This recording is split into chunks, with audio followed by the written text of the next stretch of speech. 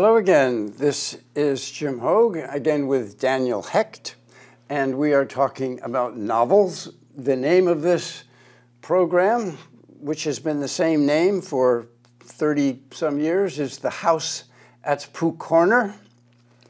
And last time we spoke about the importance of of you and your vocabulary if you're going to sit down and try to write something.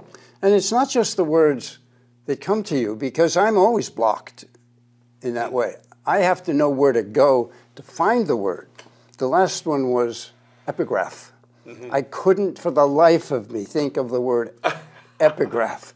So I, I, kept hunting in all these different places. I still couldn't find it. And then finally it popped up someplace, and I said, wait, that's it. That's the word. So I'm going to read it. Uh, when I finish my little intro, I'm okay. going to read an epigraph. Great. By F. Scott Fitzgerald. Excellent. Good choice. In uh, The Great Gatsby. So today, we are going to talk, I think, primarily about character and how characters are formed in a novel. And we're going to talk a little bit about what a novel is, because we didn't really get to that last time. And to me, the wonderful thing about a novel is that the novelist can go wherever he wants, here, there, and everywhere, but he has to hang his hat on something, especially if it's, if it's a mystery or an adventure of some kind. The, the most important aspect, according to Aristotle, who never heard of a novel, uh, is plot. Because whatever you've got, you're hanging it, you're hanging the character, the theme, the setting, the, the music, the poetry, everything. You're hanging it on what this person is trying to accomplish, the, the, which is the plot. So, but today we're going to primarily talk about character, I think, and how the character is created.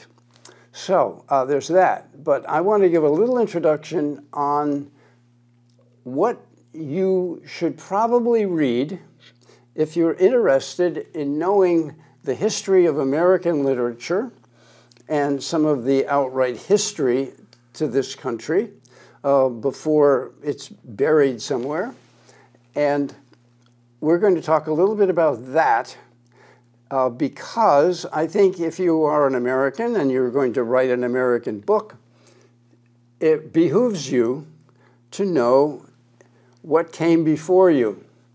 And we have periods in this country. We have the Enlightenment from the 18th century. We have the um, Transcendentalism from the 19th century and the Romantic period, on and on and on. So, those are the kinds of things that you might want to be looking into as you uh, follow through your education.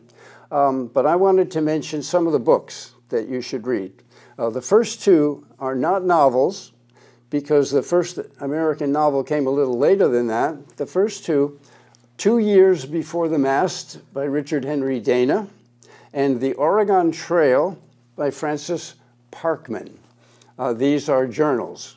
Uh, the first no actual novel that I can think of, and um, I think Daniel will have something to say about this sort of thing when, when he gets the floor. Uh, the first novel that I can think of is The Scarlet Letter, which you absolutely must read um, since it's the first American novel. It's written in a European style, in my opinion, but it's the first actual novel written in, uh, in this country. So, moving on from that, the first American novel that is written in an American style that was made the American style sort of jump off the page, and everybody else said, Wow, you can do that. That's Mark Twain's Huckleberry Finn. And then there was another great author of that period who wrote with primarily a European style, but he was American, lived in England, and that was uh, Henry James. And one of my favorite books by him, and I've read several. My mother loved reading Henry James uh, was Portrait of a Lady. I just adored that book. Um, and there are two other books about women that I put in a, a, a trio. There's Anna Karenina, oh, yeah. uh, Tolstoy, and there's Flaubert, Madame oh, Bovary. Right.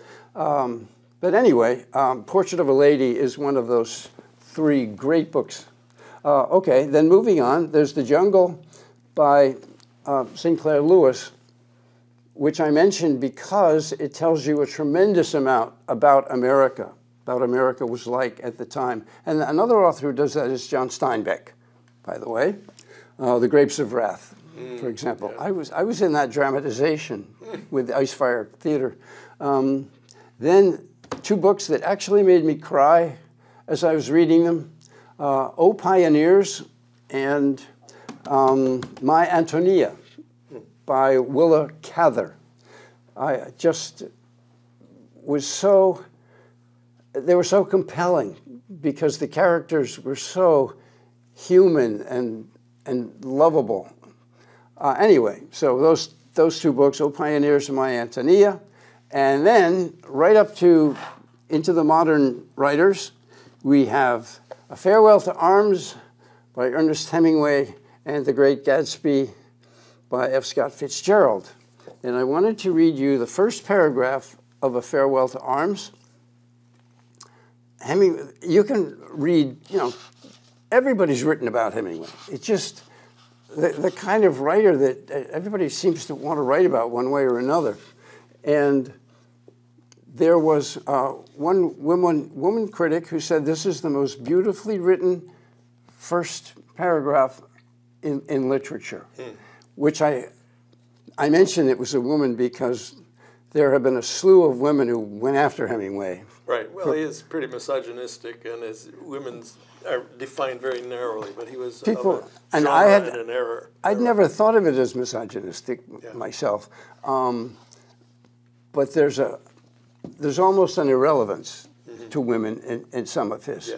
books. Um, and, and I've read almost all of them, and I've, I've loved most of them, but not all of them. Some I thought were a little tedious. But this book is pure poetry all the way through. And so here's the first paragraph. And it, it's, you described Hemingway last week, too, and this is, is fitting of that. I don't consider it in the least bit masculine, but I consider it compelling in the way one word inevitably follows the next. Okay.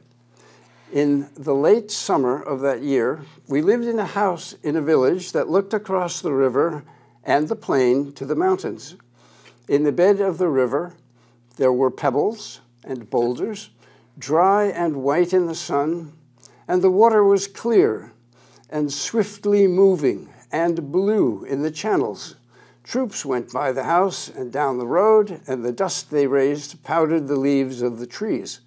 The trunks of the trees were dusty, and the leaves fell early that year, and we saw the troops marching along the road, and the dust rising, and leaves stirred by the breeze falling, and the soldiers marching, and afterward the road bare and white except for the leaves. So, not a not a highfalutin phrase in there. No, but look at there's some stylistic things. Mm-hmm. I went through a big Hemingway period when I was in my 20s. Mm-hmm. I mean, I read every every book from first to last, and I saw the development of his stuff. But if you look at that, look at the rhythm of the and the yep. such and such and the such and yep. such and the such and such, mm-hmm. and there are those troops marching row upon row upon row. It's very artistically done, but you don't notice it. Uh, so it is uh, concealing in plain speech rather clever artifice, rather you know, art. Yeah. Uh, so Hemingway blew me away. He was so lean and sinewy, maybe mm-hmm. too lean and sinewy. But you know, when he said he walked down the hill, the sun was setting behind the mountains. It was very satisfactory. Well, it's not giving me much to go, but I can totally be, I'm totally there. It's uh-huh. so amazing. How does he do it? It's like magic, you mm-hmm. know? So, once again, there's a, there is deep art built into what appears to be very plain speech. Yeah. Yeah. That he w- wrote like a poem. Yeah. I mean, he thought like a poet, I think, when he yeah. sat down at the cafe in yeah. Paris yeah. and and wrote this. Yeah. So now I want to mention uh, the the epic epic epigraph in, in The Great Gatsby um, because when you write a novel, you have to make a decision as to whether or not you're going to put some little thing at the beginning, whatever it is, a prologue, which could be several pages, or somebody else might write a prologue for you. Um, but I'm talking about something that you write that, or maybe a famous quote that somebody else wrote, that you may or may not want to put at the beginning of your book. And this is the magnificent little piece that Fitzgerald wrote, and he put in the beginning of his book. But here's a secret that most people don't know. He gives another name. He gives the name Thomas Parke d'Invilliers to this. Well, isn't that who he's, who he's quoting? No. Oh. He wrote it. Oh, okay. And he has a character. Okay. Uh, he has used that character in the past. Oh, no, so I Thomas did that Park. in my, my second novel, believe it or not. I made uh-huh. up a, a, a, character who features in the novel, and I quoted him in, in, one of my epigraphs. Okay. That's so cool. I didn't know anybody had done it. I assumed uh-huh. that there was some, some guy mm-hmm. I'd never and, heard of. And I sent you a little joke like kind of thing that I do in, uh-huh. in my book where I comment that. Anyway, Thomas Parke d'Invilliers is not only a pseudonym huh. for um, F. Scott Fitzgerald, but he's also a character in the book, but he's a pseudonym for a character in the book right. who is out of Dickens. so those are my little conceits. Those right. are my literary conceits mm-hmm. that anybody with what we call, what we used to call a well-rounded literary education would would, would get that. But uh, luckily, I had an English teacher who was very good English teacher and knew a lot.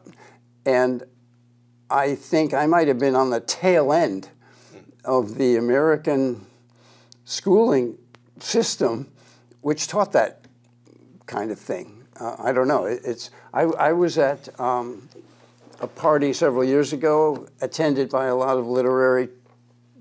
I won't call them literary types, but they were theater types, people who supposedly knew a lot. I read, um, I, I, said, I'm going to read you something, and I'm going to see whether or not you know what it's from. Uh-huh. So I read the first paragraph of A Farewell to Arms. Right, pretty famous paragraph. Nobody uh-huh. there knew that it was the first paragraph from A Farewell to Arms. And um, of course, as a high school teacher, I taught this every year that I taught American Lit. So I've read it several times. Um, so, but that's probably why it's and and my I read a lot of criticism, so that's why that paragraph sticks in my head. Right. But it was hard for me to believe that. I think I would have recognized it anyway. Mm-hmm. You know, I've I've read Huckleberry Finn maybe two or three times, and I think you could read anything. You could right. pick anything out of that book and read it, and I would know that it came from Huckleberry Finn. Right. But anyway, here's the little quote from F. Scott Fitzgerald, and he credits his character, Thomas Parke d'Invilliers, for having written it. Then wear the gold hat, if that will move her. If you can bounce high, bounce for her too. Till she cry, Lover, gold hatted, high bouncing lover, I must have you. And that's the plot hmm. of this book is Gatsby trying to get um, Daisy, hmm. trying to get Daisy back. You know, it's interesting. I've, I've written eight novels, and I have I have uh, epigraphs in each one, and hmm. I, it is a task that I sometimes love and sometimes hate hmm. coming up with that epigraph. And I often a couple of them are are just like in a sense they're the summary of what the whole book is about mm-hmm. in a matter of two sentences or something. Yeah. Uh, usually I try to find some notable figure. Uh, mm-hmm. Sometimes it's obscure or a quote from a psychology book, but um, novels begin in a lot of different ways. You can have big views. You know, you can have in the moment in medias res, starting in the moment shots rang out from the tree. You know, this guy. Yeah. He felt the bullet. you know, Doctorow. Yeah, whatever. Always. Uh, or, and in that case, often you want to say, what is this novel about? So I go to theme. Mm-hmm. Theme is sort of the, uh, a philosophical premise or underlying moral comment that the book will essay to make. Mm-hmm. Uh, and often I try to encapsulate that in a telling few words in the epigraph so that readers, everything that the reader reads presumably come through the filter of that initial thing. They'll mm-hmm. forget about it, but it'll still you know color it. It'll take like mm-hmm. you know drops of uh, food coloring in water. It'll slightly color it. So mm. yeah, epigraphs. What fun!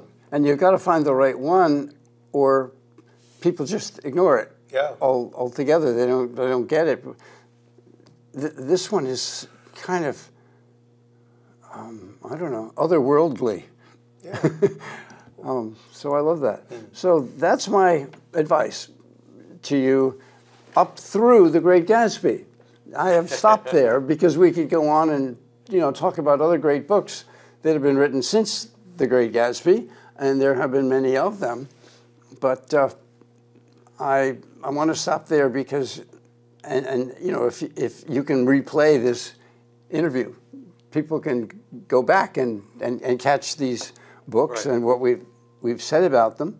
Um, and uh, otherwise, we can, I'll turn it over to you and we can start talking about character or not. Oh, there were a couple of metaphors I wanted to. Oh, good. Yeah. We talked about metaphors. Um, and I think off camera, I, I said if you're a director, you don't want to just tell your actor, well, you're explaining this thing you're, you're explaining when you have to get there. You're explaining how to, you know, you, that doesn't help the actor. You want to give them a metaphor. So, and I, I use the example, burning the words in. So if, if I'm a director and I say to the actor, uh, you're burning the words into her head, that helps the actor because it gives the actor something to see, it's a visual, and something to feel. But if I just say you're explaining something, which is like 99% of what right. directors would do, then it's the actor's job, and that's what I've trained to do as an actor. You have to find your own metaphor to make it work. Otherwise, it's kind of just lies there. Um, now, let's say it's bad news. Let, let's say that, um, you know, you're, you have to tell your mother that your brother was just killed. So the you're certainly not going to burn the words into her head. You're, you're going to sugarcoat it. You're going to coat it with honey. So that's what the director needs to tell the actor to help the actor along with a metaphor. And then if you're listening, you don't, if the director just says you're listening, that doesn't, doesn't do anything. But if you say you're hanging on his lips, that's a metaphor from the importance of being earnest. Hmm.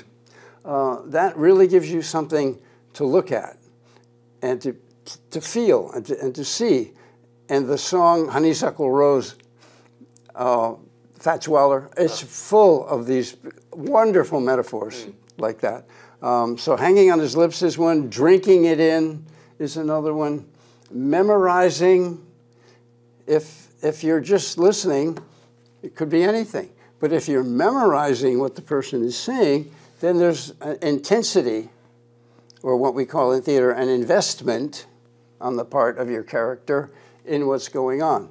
So you should be thinking about that a little bit as you write. Do you want to write um, that Bill was explaining this to Sally, which is fine if you, if you don't want the reader to pay much attention to that word. But if you want the reader to learn something about Bill, then you might say, and Bill was burning it into her head that she's got to get there at three o'clock. It shows you what Bill is like. It tells you something about Bill. If you just say Bill was explaining to her, you, you learn nothing about Bill. Right. So, off we go. Where to?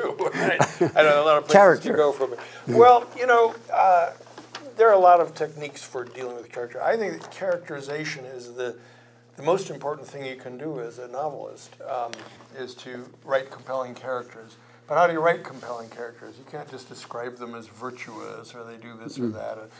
They uh, were, they were all state quarterback on their high school football team. You know, okay, it's virtues.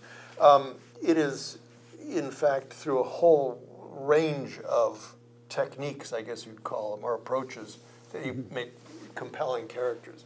Um, I don't know if you can make it as too much of a science. I tend to be an analytical type guy, so I write this stuff down for my own reference. Mm-hmm. Oh, here's here's a cool, and because I've taught it, you know, college advanced fiction stuff, I um, classes I try to write these essays that tell about character. I didn't particularly prepare any notes on character for today, but uh, what I did was I thought about American literature well, why don't we do that now, and Okay. we can come back if Well- we have time to the character. I can I can Or actually mix them together. I distilled a few things from Yeah. From the progression of American literature.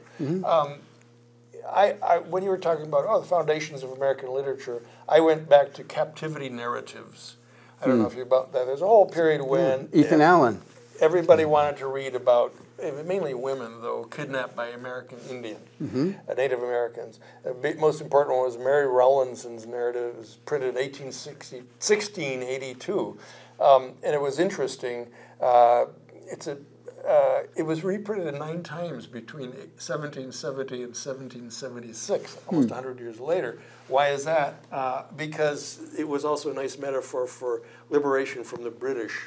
Uh, was, what happens is in these captivity narratives in early America, uh, you have to remember there are white people coming in and taking Indians' land and stuff. And the Indians, when they fought back, would sometimes take prisoners, and sometimes they were women, and then they were captives for however long it was. In Mary Rowland's case, it was 11 weeks, which can be a long time among strangers, and you don't speak the language. But um, interestingly, uh, they, uh, you know, three parts is the attack and the capture, then there's the suffering and trials, and then finally there's the return and the transformation. Usually has a Christian thing, a motif to it. But um, uh, there were a whole series of progression of, of writers. Some of them were novelists, and some early on, like Edgar Allan Poe, uh, who was born in 1809, died in 49. Um, his first publication was 1833. Uh, he was a huge figure, not just that he was the father of the mystery genre and, and sort of the horror genre as well, but also um, uh, he consciously was not European in style. He wanted to be more naturalistic and stuff. In fact, he got into a big, uh, a big brouhaha with a very famous American poet, Henry Wadsworth Longfellow. Uh, and it was actually called the Longfellow Wars. And he just hated his poetry. He said he called his era the heresy of the didactic. and he considers his work, work preachy and derivative. and he said, you know, he, he saw America departing from continental styles. Uh, and, um, and, and Longfellow, he said to Longfellow, we, we grant him high qualities, but deny him the future. Oh, hmm. Ouch, you know. And sure enough, we, we read a lot Yeah. more Poe nowadays than we do with Longfellow. But anyway, you go through uh, another one, of course, Nathaniel Hawthorne, mm-hmm. an amazing book, The Scarlet Letter. He was really an artist, an artistic writer, mm-hmm. deep themes, deep, you know, but he was still pretty European sounding. Then Melville came along, and he was a little mm-hmm. less European and so on. And we move forward to, eventually, I think we see the fulfillment of early American literature in Mark Twain, as you point out. He is finally free from the last constraint of the continental style. So, but going back to character, one of the trends, the progressions, the ear- American literature early on was focused on landscape, Native Americans, hardihood, uh, you know, bra- focused on often brash, pioneering characters. Um, but I think there was also a simultaneous move, oddly enough, toward what I would call interiority. Uh, you see in, um, uh, especially when you get to Henry James, who was born in 1843, you see this focus on the psychology of the individual. Yeah, and Hawthorne did that too. Yeah, yeah, and, and they were, but they were expository. That was to say, the narrator, the author, would say he was a sensitive fellow who had, you know, suffered under his father's uh, hard discipline, and later in life, you know, he would. The narrator is telling you this, right? That's a terrible way to get a character across. You can tell me all, all the data on you. I could download it. My computer might want to read through it, but I don't want to. Uh, what I want to know is how you express yourself, what you look like, how you move. Does that make sense? I will Yeah. get you better. As- Uh, if I'm sitting in the audience and you're on stage, don't download your bio to me. You know, Yeah. you're gonna you're gonna act your character. You're gonna be your character. And similarly, the novelist is charged with making the character come alive on the page. Mm-hmm. And fortunately, thanks to Flaubert, French great French novelist, Madame Bovary, mm-hmm. uh, he invented or pioneered a style called the in, free indirect style, which mm-hmm. is what used to be the narrator telling you stuff. He did this. He felt that. He, you know, I mean, no. He, the, the, this happened. The uh, oh, historical references. The city had uh, was originally an agricultural town, but then it grew into a major uh, uh, industrial uh, force. Okay, that's the narrator telling you this stuff. Uh, the character would say, "Too bad the farmers didn't come to you know Birmingham anymore. Now the factory, you know, mm-hmm. he couldn't. The smell of the factories." You know, for, Yeah, so the okay. character's owning this text. Mm-hmm. So that's what I would call moving from the axiomatic narrator. Just there's supposed to be a narrator. Mm-hmm. The we books have narrators. They tell you the story. Duh. No, modern literature, increasingly, thanks to American writers like Twain and others, uh, moved to what I would call character proprietary. The text is actually the character's thoughts or sensations or experiences or opinions. Um, and that's been a wonderful way uh, to uh, bring forward character um, because it's in all the text. What words do you use? Well, those words are actually your your character's vocabulary. Yeah. yeah. So that's the voice of the character is reflected in the narratorial voice. Um, so there's one of the techniques of a subtler aspect of, of how to develop character and how character emerges on the page.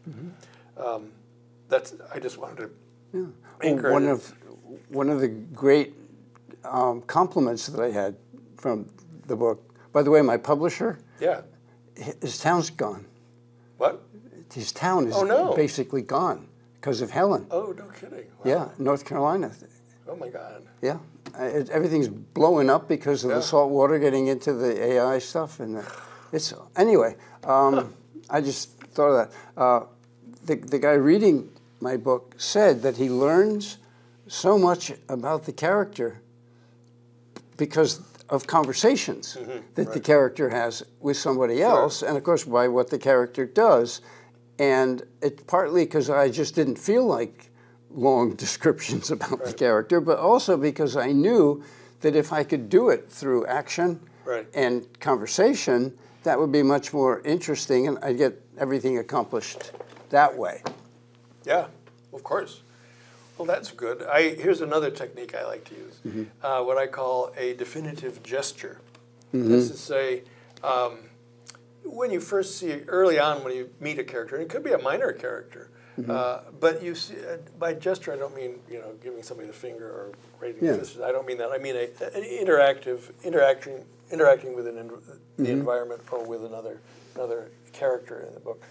How how do you characterize this person through that dis, that definitive gesture? You distill their essence into perhaps an, a small act of charity. In uh, one of my novels called City of Masks, we have the main character whose name is Cree Black. Uh, she's interviewing a woman who's very distraught, and she's trying to serve tea, and and as she's doing it, the, the, the ring of the teacup snaps off in her hands. He's just too upset, the woman is. Mm-hmm. And just at that moment, uh, the, the other character's husband comes in, mm-hmm. and Cree says, Hello, Mr. So and so. I'm Cree Black. I'm sorry, I've been a bit of bull of a, in a china shop here. Look, I've broken your teacup. She takes blame for the breaking mm-hmm. of the teacup to, on herself, not to, to sort of protect the, the wife's uh, discombobulation from her husband. Uh, and so I think we then see Cree through that definitive gesture thereafter, a deeply compassionate uh, character, sensitive to nuance of that sort. So that's, I mean, that's one of a zillion examples that one could give, you know. And That has a little more weight for the reader than if you just describe it. Yeah, for sure. Well, um, once again, I go back to the imagist dictum. You know, there's a school of poetry, imagism, uh, imagism. But uh, in, in the United States, William Carlos Williams was the big, you know, advocate of it. You know, that you know, so much depends on a, a red wheelbarrow uh, glistening with rain beside the white chickens, you know, however it goes. Um, he, his, his axiom was no ideas but in things. Now you can overdo that. Certainly if you get to Henry James, whom you mentioned, deeply uh, psychological uh, Mm-hmm. insight, he spelled out the psychology. He, he would not do that. He would he as a narrator would tell you Mm-hmm. all the, the, the characters' traits and how they got those traits in their Mm-hmm. upbringing. Whereas if William Carlos Williams were writing it, he would only show them in distilled gestures. Okay. Yeah, and Henry James' brother was a shrink. Yeah, of course, William James was a pioneering psychologist, so Mm-hmm.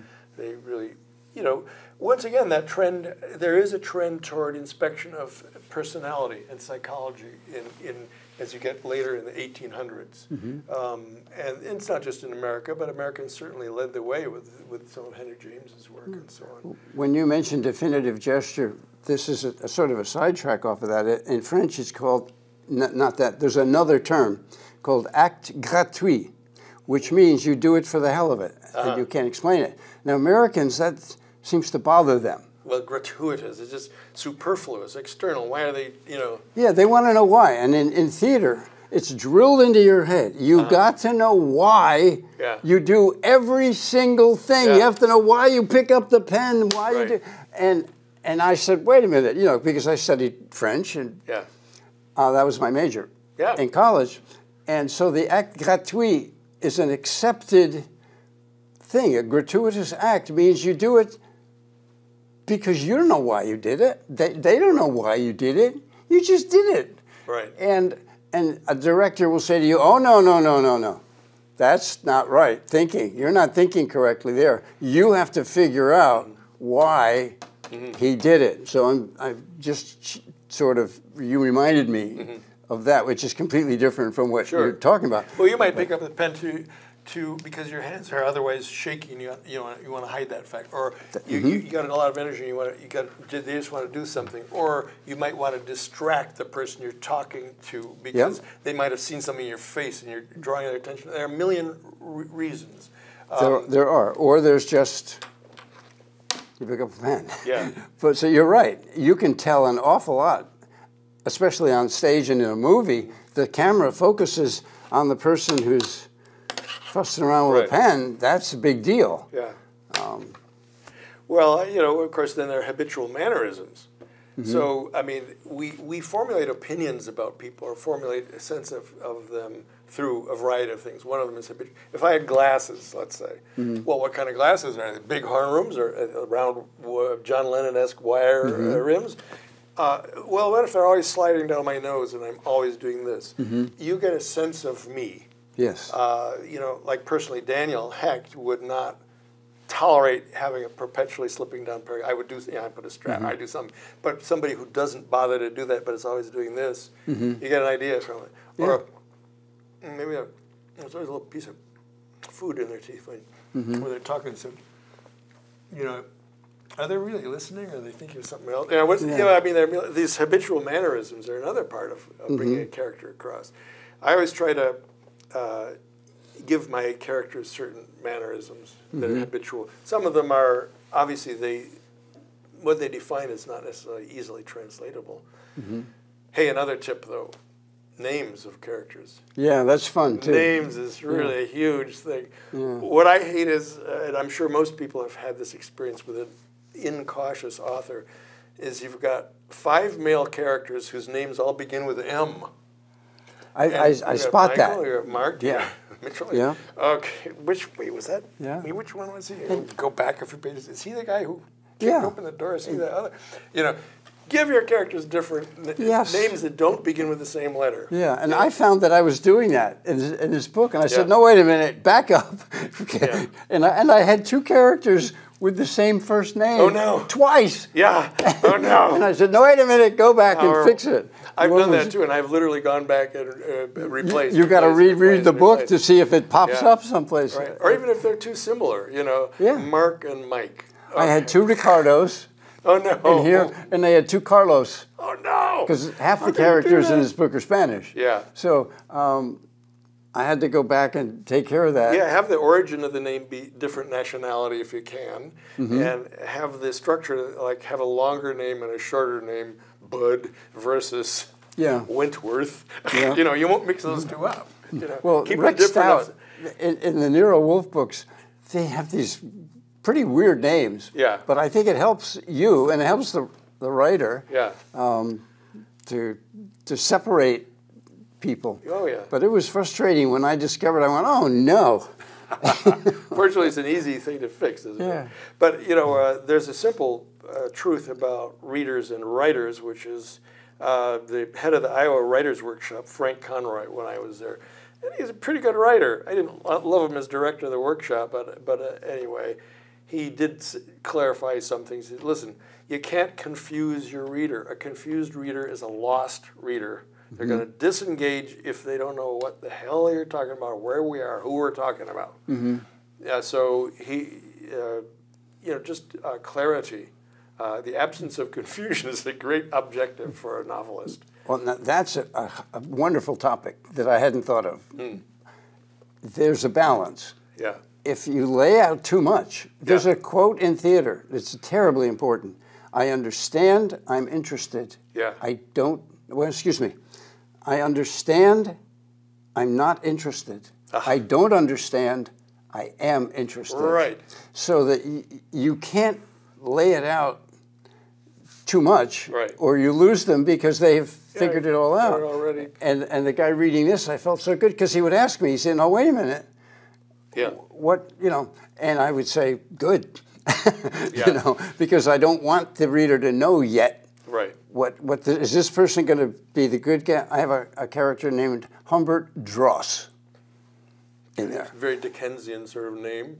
It's Dickensian sort of name, but it also the word dross Yeah, is is a what do you call that? Not an onomatopoeia, but a anyway. yeah, Um, it tells you a bit about Humbert Dross, but he changes. Hmm. He's not Dross by the end of the book. He's got some pretty damn good ideas. Um, but anyway, where was I? uh, Yeah, you- you wanna- not telling too much. You don't want to tell them too much, but you don't want to utterly conf- confuse them either. Okay, so here's there's a convenient way to differentiate between those 2 Mm-hmm. uh, um, and that's simply a difference between confusion and mystification. You want to mystify somebody. Hmm. Yeah. You want to confuse them. Mm-hmm. You want somebody to understand what happened and wonder why and what happens next. Okay. Or, or and you don't tell them enough, so they keep turning the pages. Mm-hmm. Yeah. You know, I hate to say it, it doesn't matter what. Uh, it's not just mystery novels that you turn the pages for thrillers. Mm-hmm. You really need to. Any novelist has to write with the understanding that the reader will want to know what happens next, Yeah. and you you can give them a hint, but you can't tell them too much. You need to mystify them, but just don't confuse them. There's a big difference. Mm-hmm. Is this the same? Wait, is that the guy who who hit the horse? Is this the same guy who kicked that dog, or is this the nice guy who brought flowers? Mm-hmm. And you know what? That's stupid confusion. That's not mystifying. That's just confusing. It's, it's Yeah. divorcing the reader from the flow. Mm-hmm. The whole goal is to have the reader continuously immersed in the flow of the novels. And you think about that when you write.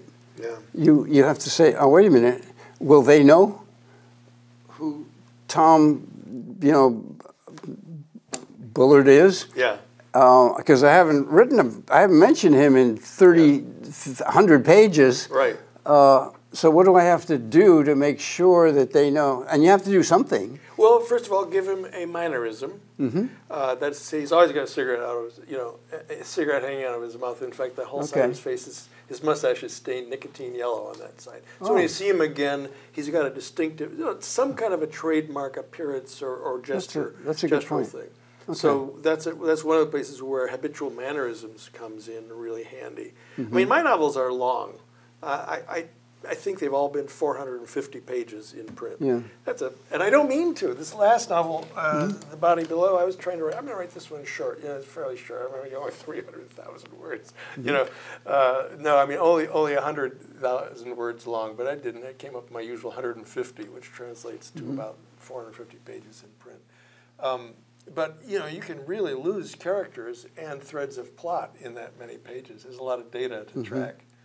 So, uh, I, you know, you, there's certain reflexes you, you have that, that you know that you acquire, and I, I recommend in rewriting going back and thinking that way. Yeah. Um, it's a hard thing to do. I think the the issue of mystification, uh, what you what you don't know, what you anticipate, what you think you want to know, is the hardest thing for a writer to judge. Yeah. Because you, the writer, know what's going to happen already. You can't tell whether you've laid out suggestions of it, intimations of it, fear of it enough, or whether you've made it too explanatory. You know. Um, oh, I know. I have a good example. On my seventh novel, On Brassard's Farm, as a female, it's written from a female point of view, 1st mm-hmm. person.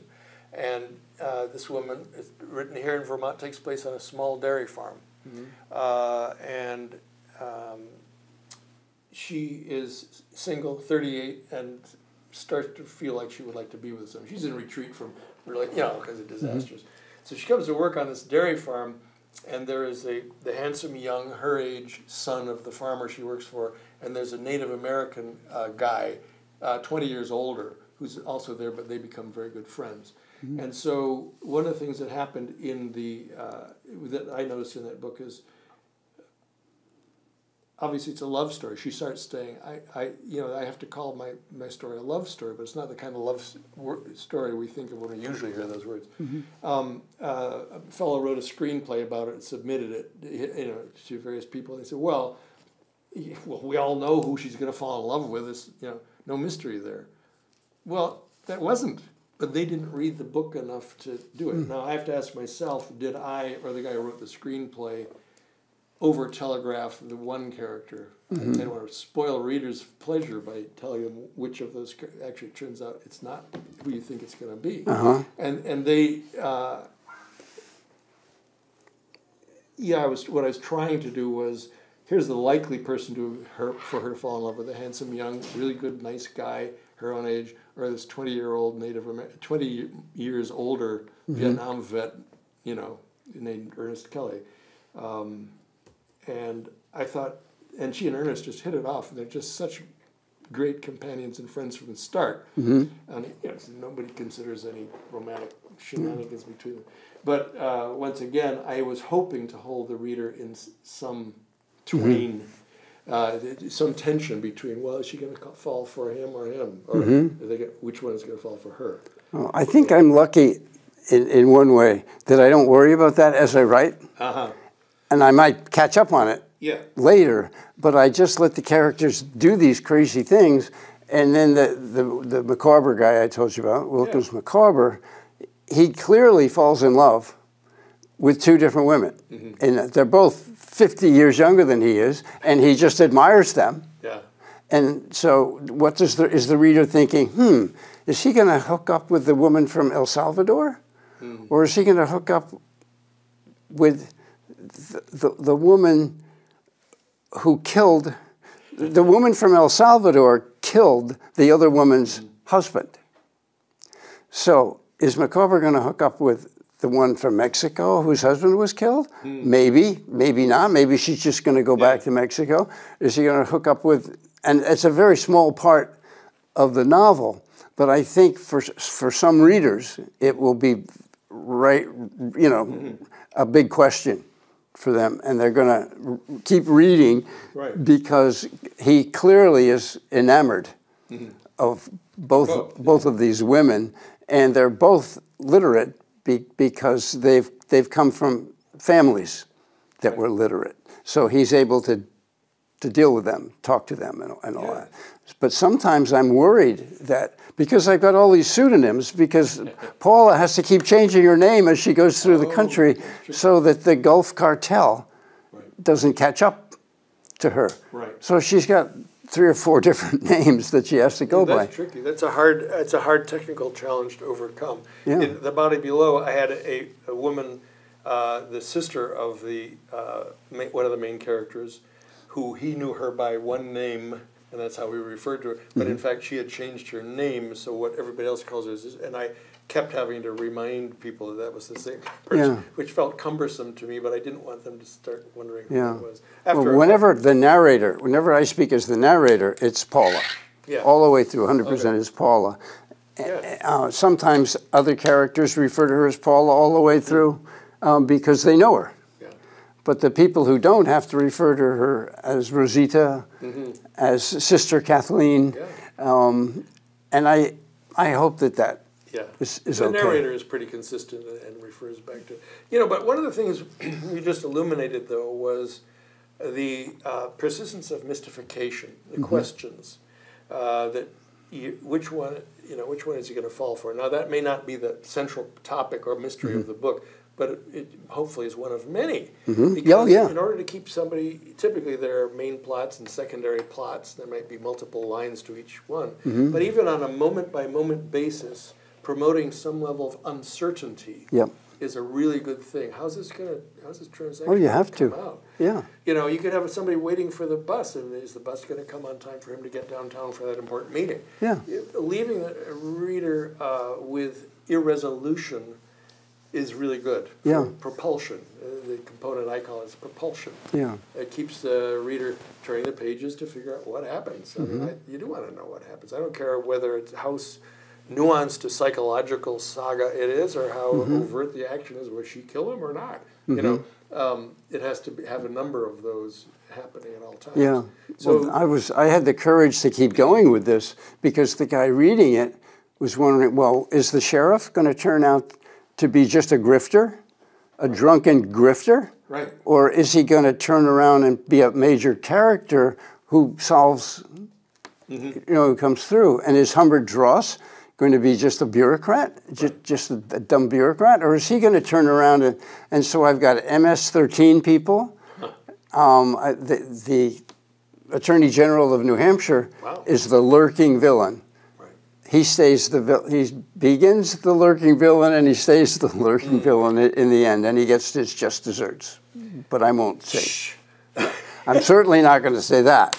Uh, but anyway, yes, you're right. Th- that's a tricky thing. Well, speaking of villains and characterization, villains are the f- really fun to write. You know, uh, I love my my villains are often my favorite characters. You know, why? Uh, well, I think one thing is, at least in my case, um, and I've heard many writers say this: you have to make them human. You can't have them just archetypal bad guys. They're Satan incarnate. They have horns and a little goatee. They do only bad stuff. They have to have some kind of complexity that the reader might identify with. Uh, some contradictions of of character. You know that they they do this bad thing, but they do it with a troubled heart. I got to fight you. Could you just not? Nope, I got to. Um, so villains are really wonderful characters to write. How how really bad are they going to be? You know, and or do they transform? Is of course another thing about character is uh, main characters at least need to be transformed Yeah. in the course of the story. Yep. They started the story with certain kinds of um, challenges and contradictions, obstacles. They, they should have a, a goal. They should have wishes, a goal. They're trying to achieve, you know, they, they, they want to, um, I don't know, they want to get a decent job and buy a house because, they, yeah, whatever. Or they want to Yeah. take care of, they feed their kids, or they want to um, get together with so and so, another person. They need to have something that moves them. They want to be free from f- acting that way anymore. I want to change who I am, but they encounter obstacles. You know, Yeah. What your your job is to give them powerful enough motives Mm-hmm. and powerful obstacles that the, the, the character has to continually rise hmm. to meet the continually rising obstacles. Mm-hmm. And sometimes they can change, the obstacle can change the character's mind Yeah. a little bit. Yeah, So, so that he can't do this, he has to do that. Yeah, and the character may end up the book not achieving any of the things they set out, but having realized, learned something about themselves, which allows them to live better thereafter. There are a million ways to do it, but the, mm-hmm. the, the axiom, the rule is not the rule, but really you got to have the character transformed. Yeah. Um, I had a wonderful conversa- written conversation with a guy named Rust Hills. This is ear- early on, before I went to writing school, before I even thought of being a writer. I was still a musician. Uh, he was the editor of Esquire magazine, and I sent him a short story I'd written. It's probably a crappy story, but he wrote me a two-page letter back, Rust Hills. And he, he later put out a book called uh, Writing in General and the Short Story in Particular. Wonderful book. And he talked about this transformation of character. He said, so suppose, and he identified the kind of changes people might go through. In modern literature, uh, modernist literature, we often find desolate characters who aren't transformed. They don't learn anything. They they are they're beaten down by the world, which is overwhelmingly powerful. Modern times are hard, and you can't you know beat City Hall. You can't beat modern times. okay, so we at last see. I'm trying to think of a famous literary example of this. But he said, yes, the character is different at the end, even if he's the same. Mm-hmm. He's the same guy. He realizes he has no hope. But when he calls it, he calls that the loss of the last chance to change. Hmm. So w- when he starts out the novel, he at least is aspiring to change. Ah. And but by the end, he's totally defeated. Sounds like a film noir. He'll never he'll never aspire again. You know, ah. been beaten out. So he's okay. still the same guy, except for the loss of the last chance to change. I was well, thinking, just really really eloquent. I recommend the book. Uh, writing in general, the short story in particular, okay. does deal with the short story, but much of it applies to novels as okay. well. When I think of Elmore Leonard or Carl Hiaasen, who I, I think of them a lot because in the last several years they've been my main entertainment. Right. Uh, I can't think of a of, a, of the change that you're describing in, in those books so much. But the last thing you said about they have these opportunities and they have these choices and they're all bad, but they have to do something. So that's part of the uh, hooking the reader right. is because the reader sees these options and the reader doesn't know what they're going to do. And in this, my book, I didn't know what they were going to do. Right. I didn't know Humbert was going to do what he did, yeah. and, and the, the sheriff. I didn't know how he was going to help right. the good guys. But wasn't it fun just discovering it? Yes, it, it, it yeah. was. It was fun discovering how he was going to go off his grift. Yeah. And he still has this thing that he he's a grifter. But he, he has to kind of give up that because he's faced with some bad options if yeah. he keeps doing the grift. Right. Um, so he makes his choice. Right. And the grift isn't isn't one of them, but it's always there. It's always in his head. Right. You know, looking for the, the the extra bucks. Yeah. And that's another one of those mystification things is is he or isn't he going to be a grifter forever? Is he going to successfully change and become maybe a little more upright, mm-hmm. you know, yeah. or do something good? I mean, uh, you know, of course, the Tale of Two Cities, as the, the mm. mistaken identity characters led to the guillotine, mm-hmm. is a mm-hmm. far, far greater thing I do now than I've ever done before. He's redeemed himself by sacrificing yeah. himself to the more meritorious yeah. twin of his. Well, I have a change. The, the, the Mexican woman, Margarita Lopez, she changes completely in the drive. She drives from Mexico to Vermont, to, to New Hampshire, actually. And she goes through a kind of a transformation. It's not written in the book at all. Mm-hmm. She just does. Right. And then when she comes to meet the person she's supposed to kill, she takes one look at her, has a few words, and it's a 180 degree right. turn. And I, th- I think I tears came to my eyes yeah. when I wrote that scene. Um, I didn't know that that was going to happen, right? And it just did. You know that little change up, that change of pace. Mm-hmm. That's also a lovely, lovely device. Oftentimes, uh, narr- you know, prose flows at a certain rhythm, certain mm-hmm. tempo, goes on and on, and a certain necessary predictability but it's lovely when somebody, a, a novelist, suddenly sh- changes up on you. Mm. As long as it's believable, you know, if you can pull it off. I just was, you know, reading about uh, Melville not so long ago, and I, you know, I've read Moby Dick probably four times and taught it a couple mm. times, and you know, it's a t- terrifically flawed thing, but I still get a huge kick out. of I don't know why. Mm-hmm. I mean, his biology is long, or wrong. Well, he's got separate chapters on biology. Yeah, yeah, yeah. It's digressive. it does everything wrong. Yeah. I wouldn't recommend anybody do in modern times. But I didn't realize that you know, he has these longish chapters, long and windy by you know, mm-hmm. windy language by modern standards. But he has one chapter that is, uh, I believe, one sentence, thirty-six words long. Hmm. I read that today, which is a very progressive stylistic thing. So, mm. wham, think of it, it hits you. Yeah. It, it stands, you know. Uh, and of course, you can do the same thing as in, in your prose style by having paragraphs.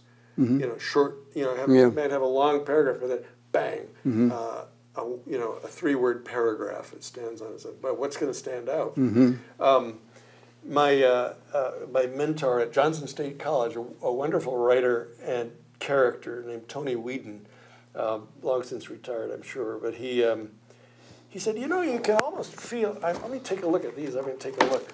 Let's, Hemingway would probably be better. you can you can see. He believed you can see on the page by the amount of white space and the vari- variations. This happens to be all dialogue, so it's a lot of open stuff. But then you go here, and there'll be chunks. And, and he said you can you can actually look and actually just see. He was very intuitive. And then here, this chapter begins with a big block of text, long blocks of text breaking over. He said, "Yeah, yeah, you can you can tell when you're you're doing something good. You're you know." Um, and I believe that. I, you know, in general, a more open page is more accessible to the reader's eye. Mm-hmm. Don't forget Marshall McLuhan. The medium is the message, mm-hmm. and if the medium is impenetrable, we often go back into 18th century, 19th century literature, and it's these big, dense blocks of narratorial prose, mm-hmm. and they just re- they It's tough. they repel our eyeballs. Yeah. literally, the medium is repelling us, not the content. If we could per- Yeah. get through it. So I'm a big believer in, in, in keeping a page reasonably open, except for when you want to switch up and do a big block of text. Yeah, and I, the publisher, that's up to the publisher, because I have a lot of conversation. Yeah. And how you divide up the, con- how, how you make a space is up, Mm-hmm. up, up to him. Is there space or is there just a paragraph? Is it whatever? right. So, but you're right. It, with um, War and Peace, Yeah.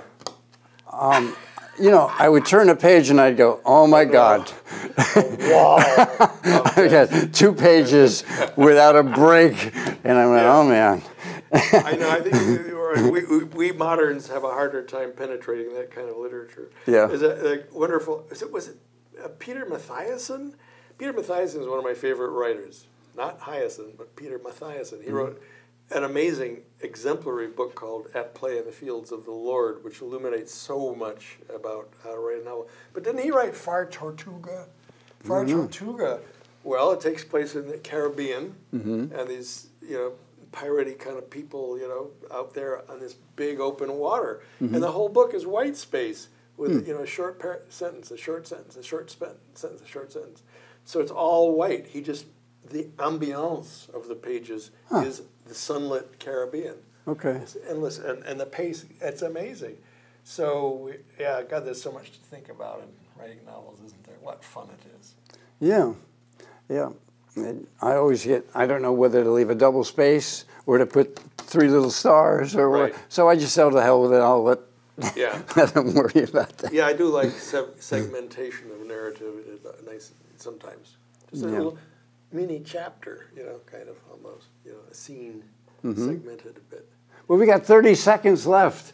Um, yeah, okay. So we, we really got into how to make character today. So that was good. And we did the history. So Yeah. we've accomplished our lesson plan. Well, we, lesson plans aren't accomplished unless people Yeah. like it or, Right, so- right. it. The best, you know, of course, the best writing advice is ass in chair. So, sum it up. Well, so here we are, House at Pooh Corner. Thanks for watching. Bye bye.